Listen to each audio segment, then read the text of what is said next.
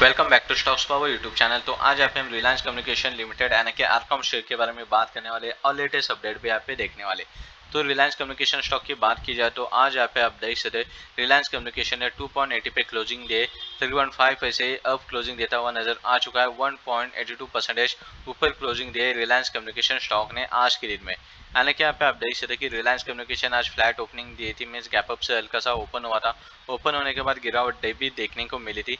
और previous closing जो है, वो पूरे दिन भर यहाँ पे आप देख सकते प्रीवियस क्लोजिंग ने स्ट्रॉन्ग सपोर्ट का काम किया और वही से बाउंस बैक हो चुका है या फिर रिलायंस कम्युनिकेशन स्टॉक और बीच में उछाल भी देखने को भी मिला था।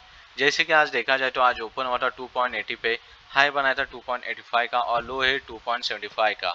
मार्केट कैप भी देखी जाए तो 751 करोड़ पे आके रुकी है।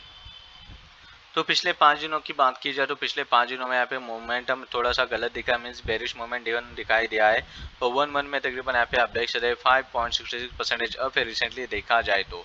स्टार्ट ऑफ़ मंथ में एक अच्छी उछाल देखने को मिली थी, पर पिछले पंद्रह दिनों से यहाँ पे गिरावट फिर से देखने को मिले। चार्ट एनालिसिस पे भी नज़र डालोगे तो आज फिर से गिरावट देखने को मिले तकरीबन मंथली प्यूट के नीचे यहाँ पे क्लोजिंग दे रहा है पिछले तीन चार दिनों से। पर रिसेंटली यहाँ पे आप देख सकते कि नीचे क्लोजिंग दे रहा है मीन्स यहाँ पे गिरावट होने के चांसेस भी दिखाई दे रहे पर यहाँ पे आप देख सकते आने वाले मंडे से नए मंथली प्यूट लेवल आएँगे। मंथली प्यूट लेवल आएँगे मीन्स मंथ चेंज हो जाएगा। तो यहाँ पे मूवमेंट चेंज होने के चांसेस मंथ चेंज होता है तो मूवमेंट चेंज होने के चांसेस भी ज़्यादा होते हैं। तो उसी तरह यहाँ पे मूवमेंट चेंज होने के चांसेस ज़्यादा है यहाँ पे रिलायंस कम्युनिकेशन में। तो ये latest update Reliance communication stock के लिए।